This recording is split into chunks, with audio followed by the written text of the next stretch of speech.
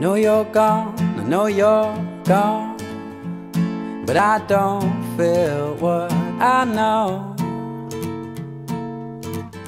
I know you're gone, I know you're gone, but my mind ain't in control.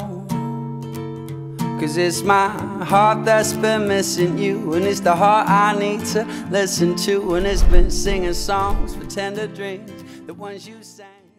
To help us Hey Golden Bears, I'm Samantha Cox Parra from Cal TV Entertainment here at the Greek Theater in Berkeley with Chef'Special's lead vocalist Joshua. Thank you for being with us here. What's up? today. No problem. So tonight will be your second night performing in Berkeley at another sold out show. What are you most excited for for tonight's show? Uh, yeah, I'm just excited for another great show, good energy and vibes, and hope to get them all pumped up for 21 Pilots. So tell me a little bit about your band. How would you describe your style of music? We started out as a hip hop funk band, basically, and then gradually we started making more like pop songs.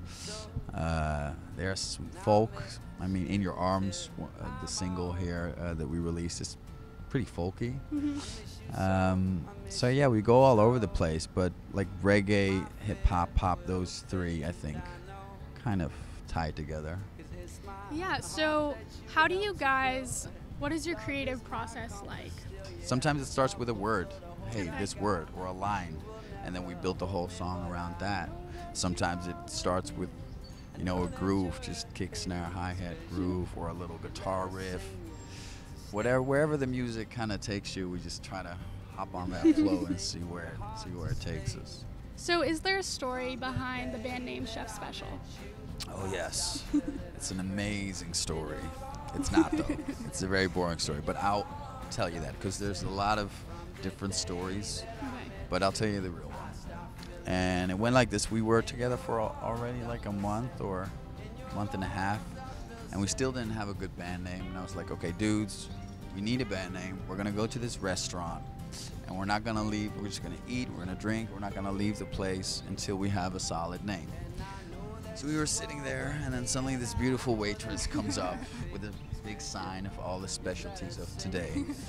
And she had this Italian, like Dutch accent, and then she said it all, and then she ended with, "And the chef special of tonight is." We're like, dude, That's it. that's it. Let's go. Let's eat and drink and have a name. So that's the story. Very nice. So, since you guys are called Chef'Special and we're here in Berkeley, which is a pretty big foodie town. I've heard. I've heard that. Yeah, so I thought I'd ask you like your own food questions along those lines to get to know Alright. your personal palate Yeah. a little better. Yeah. So let's see. On tour so far, what's been your go-to comfort food? It's dangerous out here in America for a touring band. The thing that we have on our rider right now is avocados. Those are my favorite. I, I mean, love avocados. it has everything you need.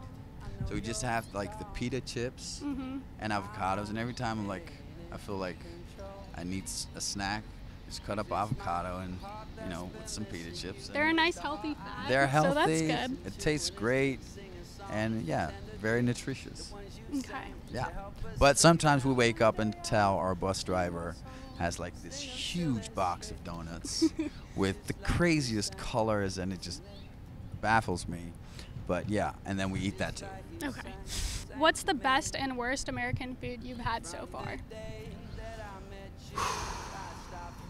I think at this one restaurant they gave me dessert and it was like fried Oreos, Oh yeah, those are deadly. ice cream. It was unlike anything I've ever experienced. So was that the best or the worst? No, that was the worst. By far. That was not okay. Don't eat that, guys. It's bad for you. But yeah, what's like real American like what are you famous for? probably like, hamburgers yeah, and hot and, dogs. and hamburgers, they're good and they're mm-hmm. dangerous, but they're good. yeah. You Yeah. you guys are really good at making hamburgers. Congrats. It's awesome. Well, Yeah. thank you on behalf of America. There's more, obviously. But the burgers are good. Yeah. so if you could only eat one food for the rest of your life, what would it be? One food. Well, I'd have to go then. I think for just toast with Dutch cheese. With Dutch cheese? Yeah.